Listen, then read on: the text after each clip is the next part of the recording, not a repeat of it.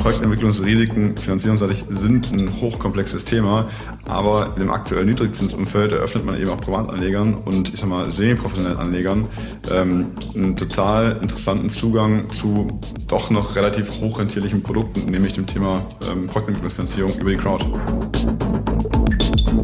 Und das ist Thema Wohnen und insbesondere auch preisgedämpftes Wohnen ein ganz großes. Also ist für uns total wichtig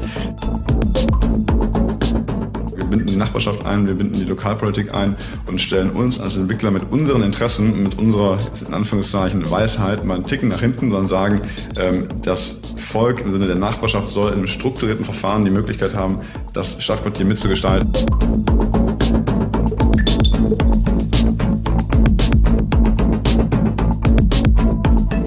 Ist der Immobilieros-Podcast von Immocom. Jede Woche Helden, Geschichten und Abenteuer aus der Immobilienwelt mit Michael Rücker und Yvette Wagner.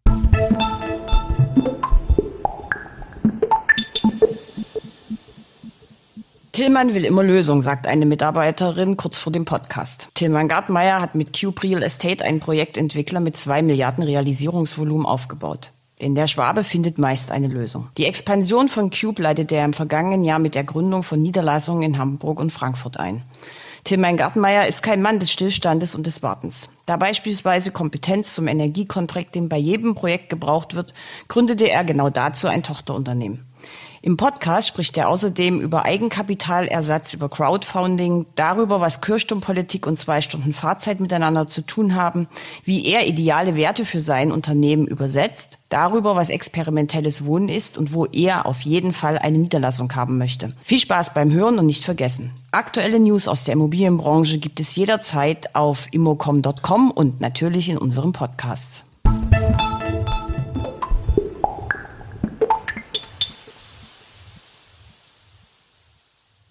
Ich bin heute in Leverkusen und mir gegenüber sitzt Tillmann Gartmeier ähm, von Cube Real Estate. Und äh, wir schauen hier bei strahlendem Sonnenschein auf eine sehr, sehr herrliche Dachterrasse. Um uns herum ist eine riesige Baustelle. Das Büro ist aber schon fertig.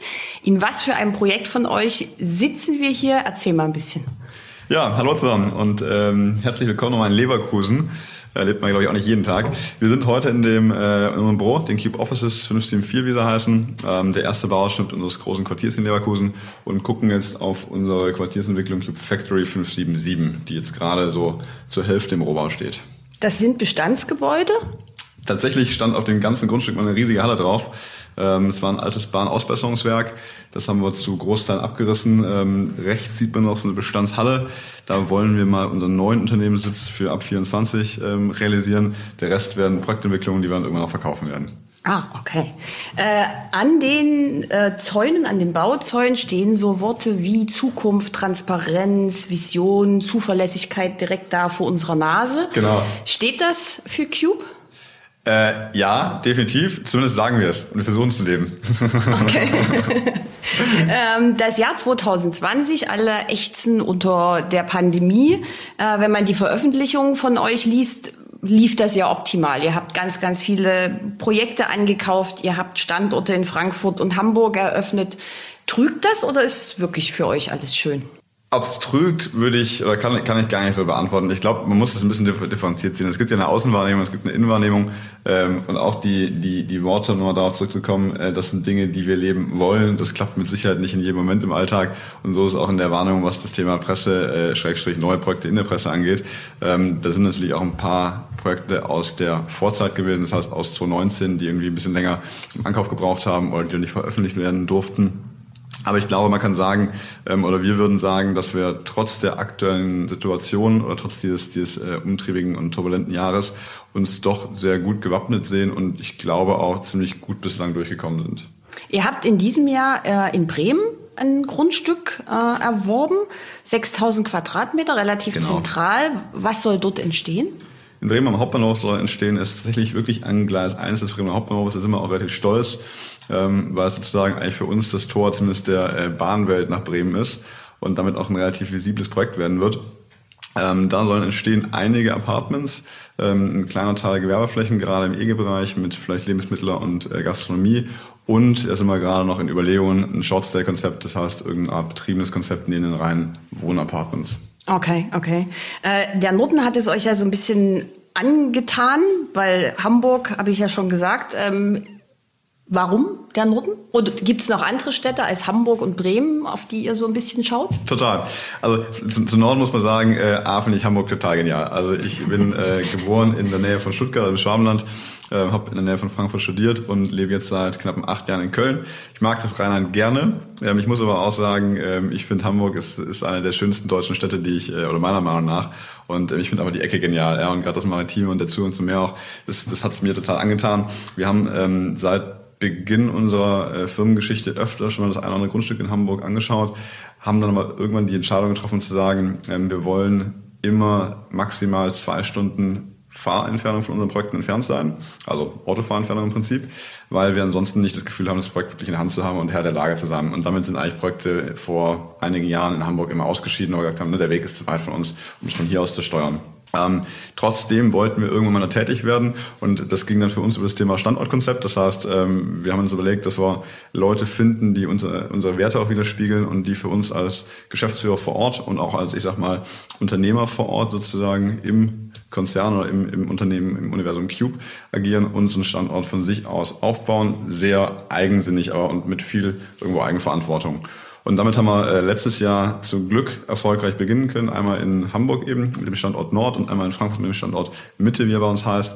Ähm, und der Norden ist, ist total spannend, dass es Bremen jetzt zuerst geworden ist, hätten wir nicht gedacht, waren aber trotzdem begeistert, weil Bremen fairerweise kannte ich noch viel weniger als Hamburg, war aber auch ähm, angetan von Stadt, von irgendwo dem, dem Flair vor Ort und auch der ähm, ja, der Luft, die man da irgendwie schnuppert. Und um auf die Frage nochmal zurückzukommen, welche Städte noch? Ich glaube, es gibt eine ganze Reihe von Städten, irgendwie auch diese, diese kleineren Städte im, um Hamburg herum, die total spannend sind für uns, gerade aus dem Aspekt auch kleinstädtisches Wohnen oder städtisches Wohnen. Mhm. Ähm, eine Eröffnung eines Hamburger Standortes ist ja jetzt nicht so wild. Das machen sicherlich ganz viele, weil Hamburg erstens eine schöne Stadt ist und zweitens auch für die Branche ja eine sehr reizvolle Stadt. Was mich viel mehr erstaunt hat, ist die Personalie dahinter. Karl von Stechow, Gründer von Zinsland, ausgewiesener Finanzexperte, äh, ist auch Vorstand im Verein German PropTech. Ähm, wie kommt es denn dazu? Sehr gute Frage. Also erstmal äh, muss man, glaube ich, sagen, äh, ist, ist Fritze, äh, wie er sich selbst nennt, deswegen dürfen wir ihn auch so nennen, äh, eine total tolle Persönlichkeit. Also ich glaube, das ist ähm, die, die Art von Mensch, mit der sie einfach oder mit der du und äh, wir auch als Cube total gerne zusammenarbeiten wollen. Ähm, ich kenne Fritze schon länger tatsächlich aus seiner Zinslandzeit noch, weil wir auch ein Projekt mit ihm gemeinsam finanziert haben. Tatsächlich das, das hinter dir steht, nämlich das Rote in Frankfurt. Das ist äh, auch unter anderem crowdgefundet worden durch Zinsland vor einigen Jahren. Ähm, Fritze selbst habe ich, glaube ich, kennengelernt, so 15. Also wir ähm, kennen uns schon seit ein paar Tagen mehr. Ähm, ich glaube, man, man kann ihm auch äh, zu Recht anhängen, dass er eine sehr umtriebige Persönlichkeit ist und irgendwo äh, Kontakte sucht. Ähm, unser neuer Geschäftsführer für den Bereich Finanzen, Bernd Hütter, der jetzt seit äh, etwa einem Jahr bei uns ist, kennt ihn auch schon seit einiger Zeit und die sind, ich glaube, sogar noch länger als wir zwei in einem guten Austausch gewesen und wir haben irgendwann überlegt, ähm, wen können wir für Hamburg nehmen? Wollen wir jetzt mit dem Headhunter irgendwo relativ neutrales Thema angehen? Kennen wir aus dem Netzwerk Leute? Und ähm, dann sagte Bernd damals, ich glaube, wir saßen abends zusammen, ähm, was ist denn eigentlich mit Fritze? Und ich wäre da nie drauf gekommen, weil ich genauso wie du auch gedacht hätte, der ist für mich verortet gewesen im Thema Crowdfunding und genau. irgendwo digitale Gründungsmodelle und nicht im Thema Projektentwicklung.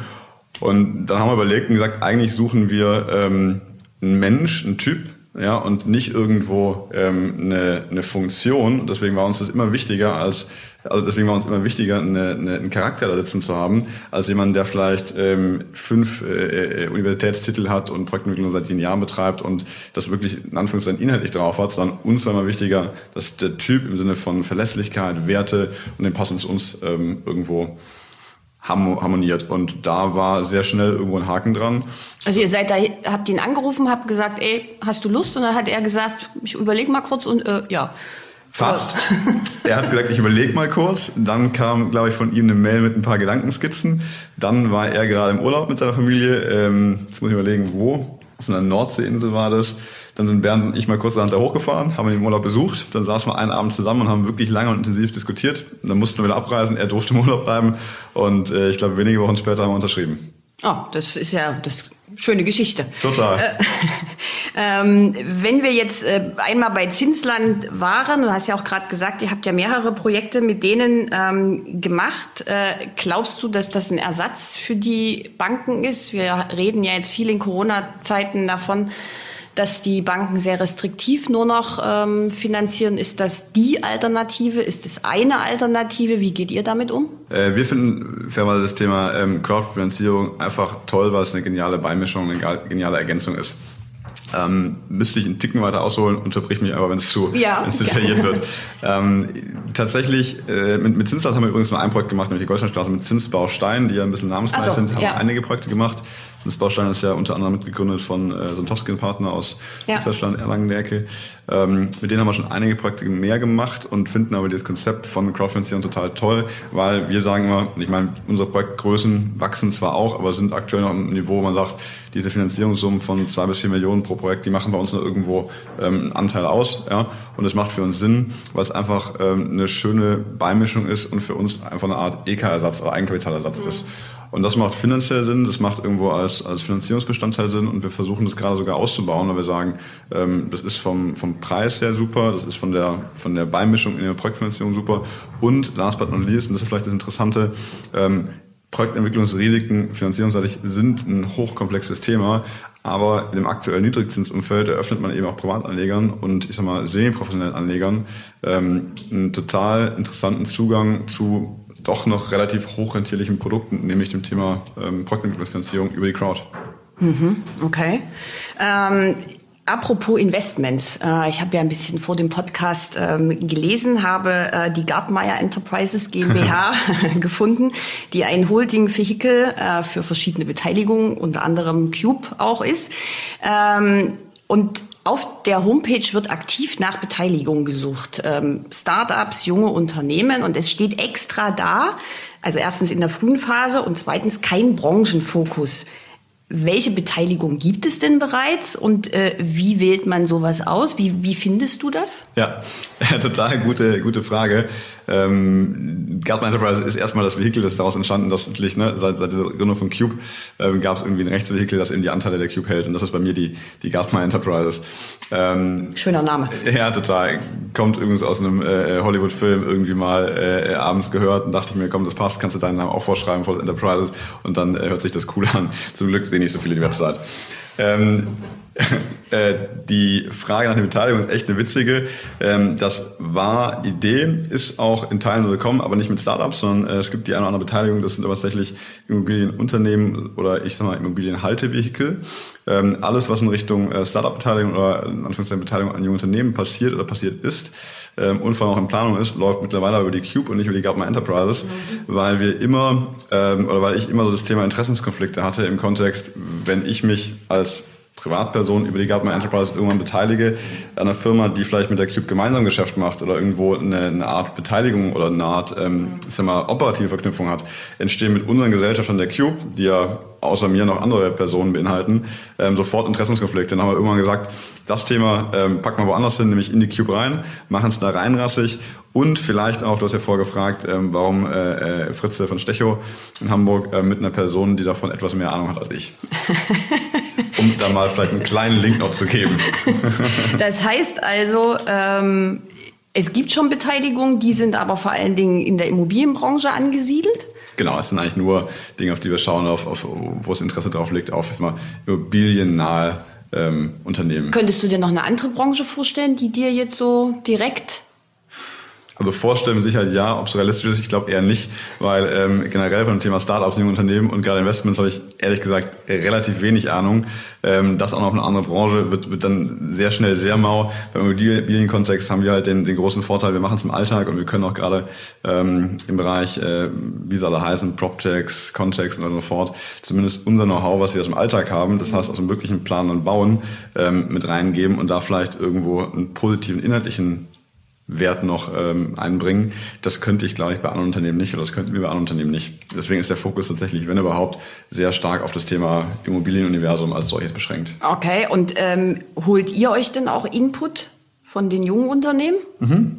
Total. Ähm, Feldhoff hat vor, eine Feldhoff-Tochter ähm, hat vor, ähm, ich glaube, zwei Wochen ja so eine große ähm, ähm, Start-up-Veranstaltung zwei Tage lang ja. für, äh, für, für immobiliennahe, Black Booster. genau, Black and Booster, ähm, immobiliennahe äh, Unternehmen gehabt. Und da war gar nicht das Ansinnen für uns teilzunehmen, äh, nach dem Motto, finden wir Beteiligung, sondern einfach finden wir Unternehmen, die uns coole Ideen liefern, wie wir unser Arbeiten verbessern können, digitalisieren können, vielleicht neue Ansätze finden. Und ähm, da war einer von uns tatsächlich, ich glaube, anderthalb Tage hat er versucht teilzunehmen bei den äh, doch sehr vielen Pitches, die da gelaufen sind. Und wir haben tatsächlich mit ein paar Unternehmen jetzt den Kontakt aufgenommen und gesagt, das sollten wir zumindest mal verfolgen, weil es klang spannend. Ah, okay. Und dann macht ihr Termine und ja. schaut euch das an, lasst genau. euch erklären, was die so wollen. Genau. Und überhaupt nicht in Richtung von, ähm, wollen wir uns beteiligen, können wir uns beteiligen, sondern ähm, bringt uns die Dienstleistung was, bringt uns die Idee was.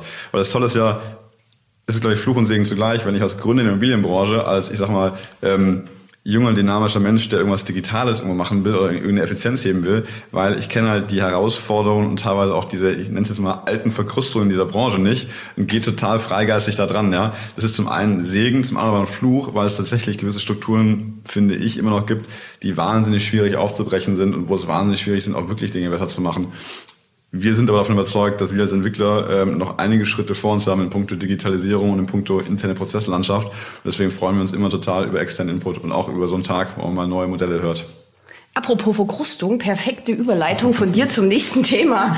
Ihr habt im äh, Juli vergangenen Jahres, glaube ich, in, ähm, also mitten in der Pandemie in Köln im Bilderstöckchen ein riesiges Areal äh, gekauft.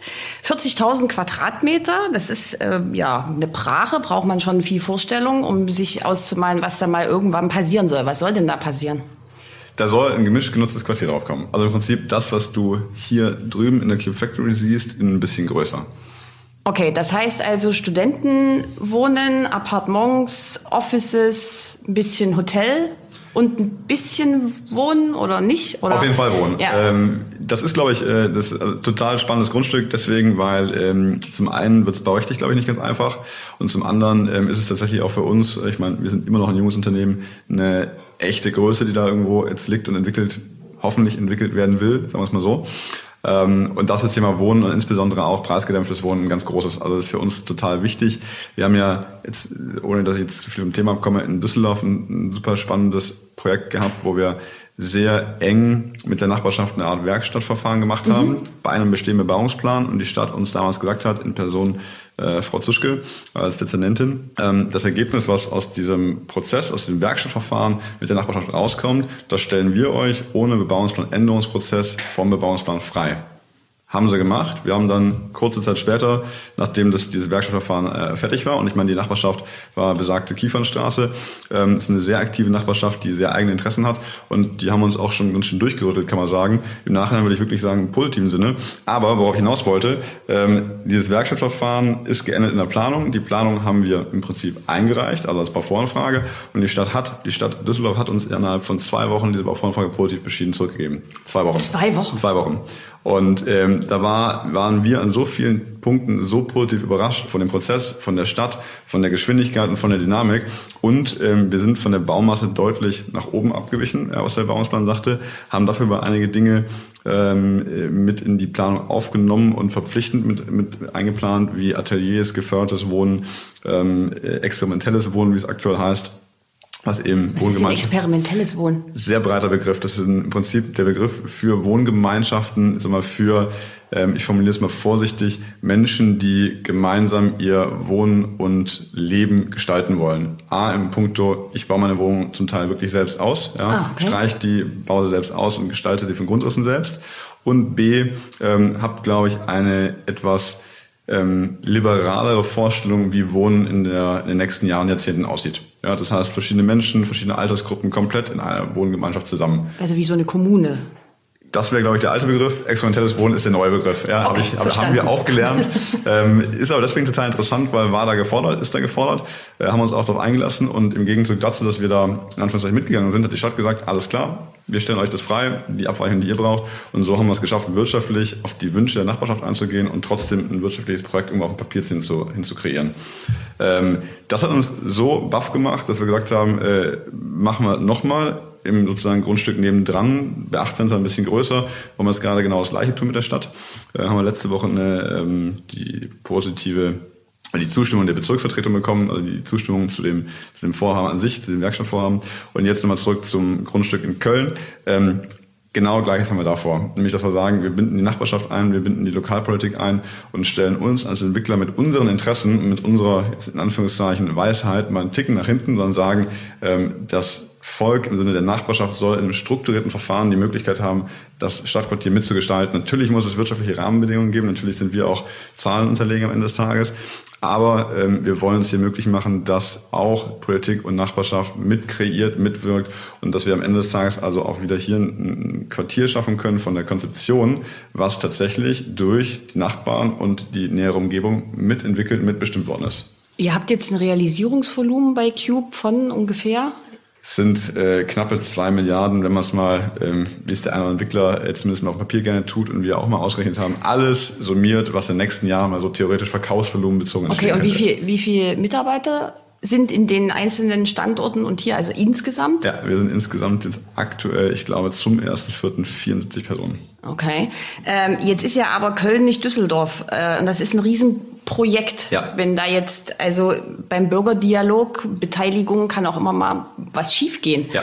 Ähm, es kann sich über Jahre, Jahrzehnte, bin jetzt mal Zehn. ganz pessimistisch, ja. kann sich das ähm, hinziehen. Du hast aber da trotzdem keine Angst davor. Du gehst da frohen Mutes rein, hast keine Angst vor Steinen, die im Weg liegen. Ich formuliere es mal so. Ein Großteil unserer Historie, unserer äh, Geschichte beruht darauf, dass wir einen gesunden Optimismus an den Tag gelegt haben. Gesund dahingehend, dass wir äh, uns nie irgendwas schön gerechnet haben oder irgendwas gewünscht haben, in Anführungszeichen, aber dass wir natürlich äh, an gewisse Sachen geglaubt haben und wir durch, ich glaube, auch Überzeugung und auch in Anführungszeichen ähm, eine Art gewollte Dynamik Sachen auch angeschoben bekommen haben. Und so ist es da auch. Muss man ergänzen, ergänzend sagen, das Grundstück haben wir auch so in Anführungszeichen günstig kaufen können, dass es uns nicht wehtut, ähm, wenn es mal einen Tag länger oder ein Jahr länger irgendwo Entwicklungszeit braucht. Das heißt, die, natürlich zahlen wir Zinsen und Finanzierungskosten irgendwo, aber das ist in so einem Rahmen, ähm, wo wir auch Zeit haben, das Grundstück zu entwickeln. Und ähm, ich kann dir gar nicht genau sagen, was, was die Planung aussieht, aber wir gehen, glaube ich, nicht davon aus, dass wir vor fünf Jahren hier einen rechtskräftigen Bebauungsplan haben. Und wenn es sechs Jahre werden, ist es auch nicht schlimm, muss man vorsichtig zu sagen. Uns geht es wirklich um den Inhalt, um die Qualität ähm, und um auch, in Anführungszeichen, das Ergebnis. Ob das jetzt einen Tag früher oder später fertig ist, das soll da keine Rolle spielen. Okay. Ähm, Optimismus ist ja auch, also Frankfurt am Main, die zweite ähm, Niederlassung, die ihr gegründet habt. Das ist ja dann auch ein sehr, sehr heißer, umkämpfter Markt. Warum denn um Gottes Willen Frankfurt? also einerseits geht das jetzt mit der ist eine wunderschöne Stadt nicht ganz so? ja, wenn man Hochhäuser mag. Ähm, ich war letztens noch, also unser äh, Geschäftsführer vor Ort, Sven Seib, übrigens auch ein total toller Typ, ganz anderer Charakter als äh, Fritz von Stechow, aber auch ein, ein, ein wirklich klasse, klasse Typ und ein begnadeter Entwickler, wenn man so will, ähm, hat den Marienturm ähm, als, als führender Projektleiter damals in der, in der Realisierung gehabt und ich stand damals auf dem Marienturm mit ihm. Ähm, ich glaube, es war Ende 18 ähm, und das war einfach auch immer wieder beeindruckend. Also ich meine, bis wir ein Hochhaus bauen in der Größenordnung wird es im Zweifel noch ein bisschen dauern. Ähm, aber das war so, das ist, das ist das Gefühl, was wir hatten. Ähm, wir fanden Frankfurt, oder ich fand Frankfurt auch schon immer toll, weil ich habe da studiert, zumindest Rheingau und war regelmäßig öfter in Frankfurt als im mhm. Rheingau. Ähm, und finde die Stadt aber klasse und bin immer wieder beeindruckt von dieser, ich sag mal, Urbanität, die gerade diese Hochhäuser ausmachen, die irgendwie diese moderne, ich sag's mal jetzt überschwänglich Finanzmetropole irgendwo ausstrahlt. Und deswegen finden wir den Standort an sich toll. Äh, du hast aber vollkommen recht, das spüren wir auch. Ähm, der Markt ist schon nicht ganz unumkämpft. Trotzdem haben wir es geschafft, äh, das kleine rote Haus zu entwickeln und damals eben auch anzukaufen. Ähm, ich glaube, das ist ja aber schon fertig, richtig? Das ist fertig geworden, ja. ja. Ich glaube vor nicht ganz zwei Monaten. Stellung 30.11.2020 steht auf dem ja, Schild. Ja, Mängelbeseitigung und Co. Also es ist übergeben worden an den Käufer, sagen wir es mal so, Anfang dieses Jahres. Und das ist ein Hotel? Nein, das ist ein Studentenwohnheim. Ach so, Also es ist, sorry, es ist ein Apartmentwohnheim äh, für Studenten und ähm, junge Berufstätige und Singles. Okay. Genau. Habt ihr jetzt noch ähm, Projekte im Ankauf? Ja, und ich hoffe? Hoffe, hoffe, dass wir nicht ganz unweit auch von dem Haus ähm, demnächst mal was Neues ankaufen können. Ähm, fairerweise muss man sagen, für uns war Frankfurt aber auch nie nur begrenzt auf Frankfurt, sondern A, Städte wie Mainz und Wiesbaden standen im Fokus. Drumrum. Und wir haben immer gesagt, weil Frankfurt ist wenn man schnell fährt, schafft man Frankfurt in zwei Stunden. Also das würde noch in unsere Kirchturmpolitik passen. Von hier aus, äh, Frankfurt ist für uns ein bisschen der, der erste Schritt in Richtung Süden. Also Mannheim, Heidelberg, das ist von Frankfurt aus dann irgendwo auch ansteuerbar. Okay. Was ihr auch 2020 gemacht habt, also ihr habt wirklich viel gemacht. Ähm, ihr habt eine Cube Easy I gegründet. Genau. Ähm, eine Tochtergesellschaft, äh, die sich mit dem allseits beliebten Thema Nachhaltigkeit ja irgendwie so grob ja. beschäftigt. Ähm, also E für Nachhaltigkeit sozusagen. Was macht dieses Unternehmen und warum brauchst du das? Ja, gute Frage. Ähm, kann ich dir aber ganz genau sagen. Äh, Easy E steht für ähm, Easy Energy, also E steht für Energie. Ähm, und das erste, also Nachhaltigkeit und äh, alle Buzzwords äh, stehen natürlich auch dahinter. Das eigentliche Geschäftsmodell ist aber wirklich Energiecontracting. Und ähm, wir haben früher bei unseren Häusern immer das Energiecontracting außer Haus gegeben, weil wir gesagt haben, ne, wir brauchen, wir haben keine mhm. Ahnung davon und als Entwickler haben wir schon so viele Themen und so viel Komplexität, wir müssen uns nicht auch noch um das Thema Wärmeerzeugung und irgendwo ähm, Vertragswesen drumherum und so weiter fortkümmern. Also hatten wir immer Energiekontraktoren, denen wir sozusagen die Heizungsanlagen und die Wärmeerzeugungsanlagen gegeben haben. Und irgendwie, irgendwann ähm, haben wir mal jemanden kennengelernt, der das bei einer anderen Firma gemacht hat, äh, nämlich das Energiecontracting-Thema aufgebaut bei einem Kölner Entwickler ähm, und sind mit dem irgendwie ins Gespräch gekommen und fanden dann irgendwann dieses Geschäftsmodell total spannend aus zwei Gründen. Ähm, weil A, haben wir es verstanden und festgestellt, wie es halt so oft ist, es ist gar nicht so komplex, wenn man es mal durchblickt hat. Und zum Zweiten ist das für uns so der erste Schritt gewesen in Richtung wirklich nachhaltige ähm, eigene Ideen, eigene, eigene Ansätze in Gebäuden über das Thema Energie kommt, ja, also über das Thema Wärmeerzeugungsanlagen. Ähm, ja. Auch im Punkto ähm, Smart Metering zum Beispiel. Ja, das heißt, wie messe ich Energieverbrauch und ähm, wie kann ich ihn damit vielleicht sogar reduzieren und irgendwo so ein bisschen im, stärker im Blick behalten? Was für Systeme im Kontext, ich sag mal, Gebäude, Automatisierung baue ich ein, immer wieder auch Wärmeerzeugungs- und äh, Strom, strombezogen. Und da sind viele Gedanken irgendwo draus entstanden. Ähm, irgendwann hat man gesagt, komm, das machen wir jetzt selbst mit der EasyE. Ähm, wir haben die Projekte, wir haben die Heizungen, die irgendwo gebaut und auch in Anführungszeichen dann betrieben werden müssen. Ähm, also versuchen wir es mal. So sind wir damals losgelaufen und haben jetzt das Ziel, tatsächlich unsere Objekte nicht nur selbst im Contracting zu haben, mhm. sondern das hat die Easy als klaren Auftrag und sie macht da wirklich rege mit, mit Georg äh, Kochanbopolo ähm, als Geschäftsführer zu schauen, dass wir versuchen, in unsere Objekte, die ja auch, wie es der Projektentwicklung immer ist, wirtschaftlich getrieben sind, das Thema Innovation im Kontext der Energiegewinnung mit einfließen zu lassen. Also Nachhaltigkeit nicht nur als Wort, sondern gelebte Wirklichkeit. Wie gesagt, ich sagte zu Anfang, ne, es, es, das eine sind hehre Ziele, ja, und dann, äh, wenn man dann 70, 80 Prozent davon nur erreicht, dann sind wir schon total glücklich. Ähm, leider nie 100 oder leider sehr selten 100 Prozent, sagen wir es mal so, aber wir versuchen es. So, dann äh, bleiben wir mal kurz beim Thema Nachhaltigkeit. Ich war jetzt hier auf der Suche nach dem Gingo. Ja. Ähm, der, ja, genau. Der direkt vor der Tür stehen soll. Ähm, was hat es denn mit dem auf sich? der Ginkgo sollte gegossen werden, habe ich vorher gehört, weil es warm wird. der steht tatsächlich vor Kopf von dem Gebäude. Ah. Und ähm, der Ginkgo ist äh, im Prinzip das Geschenk gewesen, das äh, Julai ähm, für die Awardgewinnung, auch schon Ende 19, also fast anderthalb Jahre her. Ja. Was war das für ein Preis und wofür habt ihr den bekommen? Ähm, das war der Young Leader ähm, Preis, wenn man so will. Und das war im Prinzip, jetzt ohne es abzulesen oder ohne es nachzugucken, das war der Preis im Prinzip für junge Köpfe in der Immobilienbranche, die ähm, ich glaube, man kann es salopp sagen, irgendwas aufgebaut haben, irgendwas äh, auf die Beine gestellt haben. Und den habe ich Ende 19 bekommen. Okay, dann hast du ja 20 nochmal gut nachgelegt. ähm, in der Danksagung steht auch, dass die Erfolgsgeschichte weitergeschrieben wird. Das führt mich dann natürlich auch ähm, zu meiner Frage, welche Niederlassungen werden denn dieses Jahr so gegründet? ja, gute Frage. Ja, Erfolgsgeschichte fortschreiben, das hört sich immer so witzig an. Ähm, am Ende des Tages äh, äh, machen wir nur das, was uns Spaß macht. Und ähm, wenn das dann auch gut funktioniert, macht es irgendwie umso mehr Spaß. Ne? Und das Witzige ist auch immer wieder, wenn wir jetzt zurückschauen, wo du sagst, letztes Jahr ist viel passiert, total.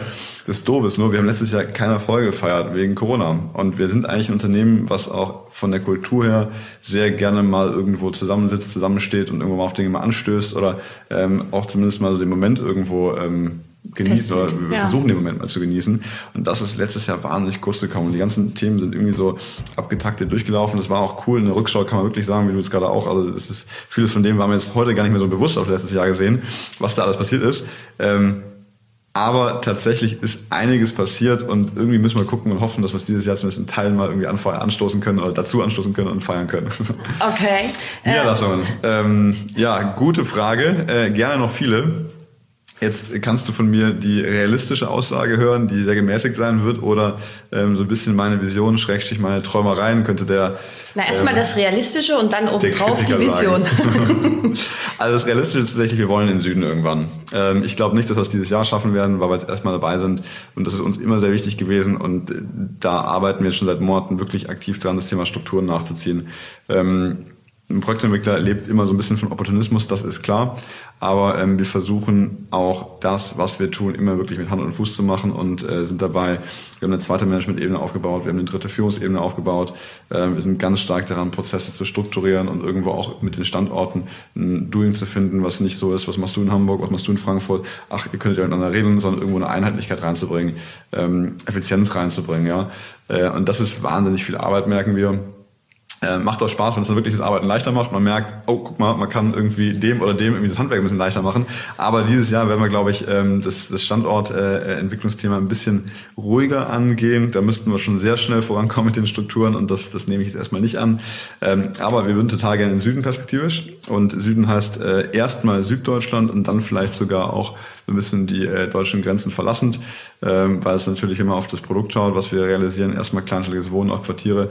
Ähm, natürlich auch noch andere Länder gibt, wo das irgendwo funktioniert. Mal also Expansion nach Österreich oder also ich habe mir sagen lassen, dass der österreichische Markt, der Wiener Markt, auch sehr hart umkämpft ist. Ja. Und ich glaube, gerade eine nicht ganz einfache Zeit durchlebt in diesen Tagen, ähm, ohne konkreter darauf einzugehen. Tatsächlich könnte das eine Idee sein. Mein persönlicher Traum ist so ein bisschen vielleicht eher von hier aus Leverkusen nach links zu gehen auf der Karte, nach Westen, nämlich Richtung Holland ähm, finden wir, sitzen wahnsinnig tolle Architekturunternehmen erstmal oder Architekturbüros erstmal und zum anderen wirklich noch Städte, die hier sehr nah dran sind, Richtung Politik, ja, das heißt innerhalb von zwei Stunden erreichbar wären und wo das Thema studentisches Wohnen, kleinteiliges Wohnen, ähm, aufstrebendes Produkt ist, plus ich noch eine Entwicklungsfähigkeit von Städten habe, die vielleicht hier teilweise irgendwo so ein bisschen an ihre Grenzen kommt. Und man sagt ja äh, dem Land nach, dass da die Zusammenarbeit mit den Behörden sehr, sehr, sehr viel besser ja. funktioniert als in Deutschland, weil die Absolut. meistens ja irgendwie halbtags noch einem richtigen in Anführungsstrichen Job nachgehen. Ja, ich, also ich, ich, ich schrägstrich, wir haben da auch echt viel gehört. Ähm, wir machen nämlich, wir haben vor Corona, da sind wir schon wieder, äh, jedes Jahr eine Architekturexkursion mit der Firma nach ähm, Holland gemacht haben auch wirklich einige Büros, mit denen wir jetzt ähm, viel und, und vermehrt zusammenarbeiten. Und äh, meine absolute Lieblingsstadt auf dieser Welt ist Rotterdam. Ja. ja. Also das ist, äh, mich kriegt keine andere Stadt so sehr gefangen wie die. Ja. Das, die vereint das Maritime von Hamburg, hat aber noch den Großstadtflair von Frankfurt und noch irgendwie die Kreativität vielleicht von New York. Also es ist wirklich ein absoluter Traum. Und seit 2014 bin ich, glaube ich, regelmäßig, also mindestens einmal Jahr in Rotterdam gewesen. Und wenn man die Stadt beobachtet, was da passiert ist, an Gebäuden, an Architektur, aber auch an Infrastruktur, das ist Wahnsinn. Also es ist einfach nur beeindruckend. Dann verabreden wir jetzt hier, wenn ihr dann nach Rotterdam geht, dann komme ich mal zu Besuch in eure, in eure Niederlassung. Tilman ja. Gartmeier, vielen Dank für das Gespräch. Sehr gerne.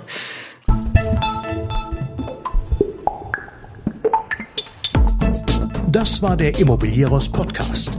Alle Folgen finden Sie unter www.immobilieros.de und überall dort, wo man Podcasts hören kann. Aktuelle News aus der Immobilienbranche gibt es unter www.immocom.com.